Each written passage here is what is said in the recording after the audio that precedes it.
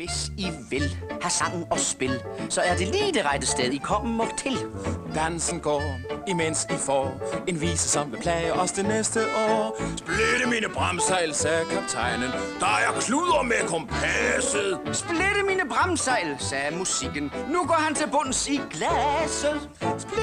Bremsejl, råbte pigen. Mine fødder er så kolde. Splitte mine bremsejl, sagde musikken. Ud og danse rock og rolle. Klingende tangenter, Den er mægtig. skønne instrumenter. Den er prægtig. Spændte alle venter. Er du rigtig? Bliver det næste, som orkestret liger af? Splitte mine bremsejl, sagde en dame. Giv os Mozarts symfonier. Splitte mine bremsejl, sagde musikken. Vi vil hellere give en tiger.